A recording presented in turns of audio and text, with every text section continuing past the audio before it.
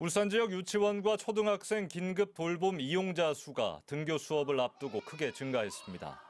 울산시 교육청에 따르면 지난주 194개 유치원이 운영하는 긴급 돌봄을 이용한 유치원생은 전체의 35.5%인 6,026명이었고 121개 초등학교의 긴급 돌봄 이용 학생은 전체의 5.9%인 4,039명으로 나타났습니다.